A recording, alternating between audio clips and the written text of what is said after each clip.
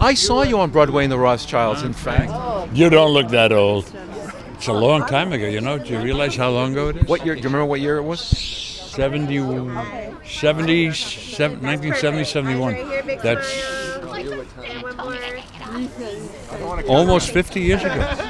George Schlatter. When I asked him, and you're gonna, you'll be on uh, stage with him, George Schlatter, who's being honored tonight.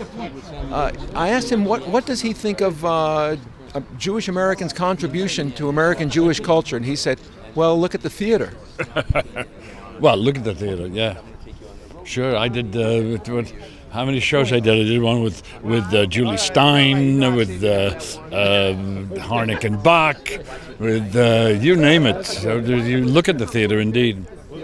Do you feel that Jewish humor has become mainstream American humor now through uh, Seinfeld and all the years? I don't know what Jewish humor is anymore. You know, it's it was so mainstream that it's uh, uh, it, it's not Jewish humor anymore.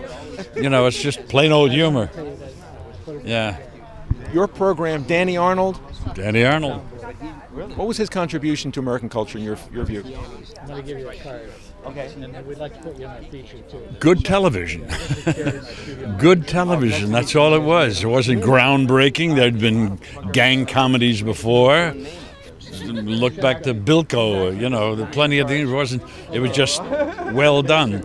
The year that we did uh, Barney, there was a. Uh, uh, a, a gang comedy in a bar that didn't succeed until Cheers did it a few years later, just did it well. And I think that was the contribution. It was just well done television. Haven't seen that in a long time.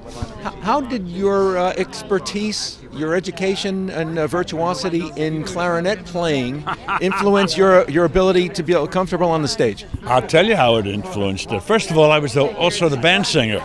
You were. Yeah, oh yeah, I was I was the guy who jumped up out of the saxophone section and sang the pop tune of the day.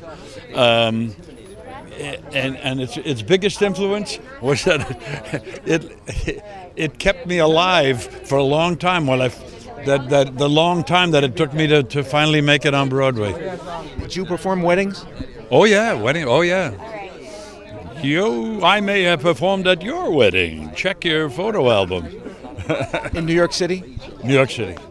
Yeah. So comfortable on stage. How did you transition from uh, musician to actor? Did you?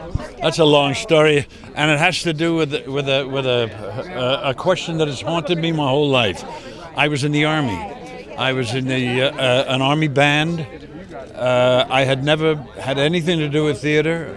I never went to the theater, and uh, the piano player who I played, you know, on weekends we played for the service club and the officers club, and he he used to get borrowed by special services. Uh, they didn't have a, a resident piano player. And one time he just turned to me and said, Listen, now you want to sing a song in the show? I'll, I'll have him borrow you too. And I said, Okay, sure. And that started the whole thing, which leaves me with the uh, conundrum. What if he didn't ask me? I don't know that I would have ever thought to have gone into the theater.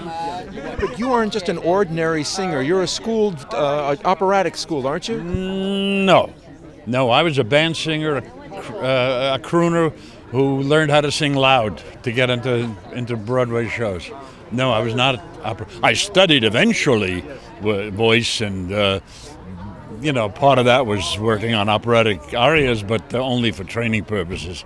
Never, never the opera. No. You've done a lot of work on behalf of Israel through the JNF. I am the national spokesman for Jewish National Fund, and I've been uh, for some 20 years now.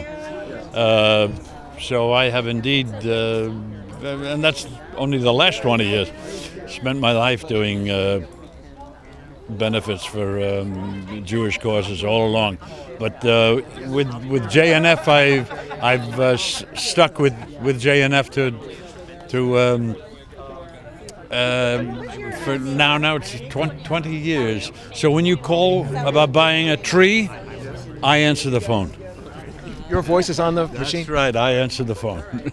How do you think uh, America under this new administration is doing Don't- towards don't- Israel? Oh, do- don't ask. Don't. Well, they, they're not thrilled. I was just reading an article in the paper. They're not, uh, even though they got a wonderful relationship. I understand Israel's not at all thrilled with the. Uh, Only about the, the uh, medium range ballistic missiles, but in terms of moving the embassy, recognition of uh, Israel's threat and support? Oh, that's all nya nya politics. I mean, all that accomplishes somebody, uh, some some somebody will get stabbed.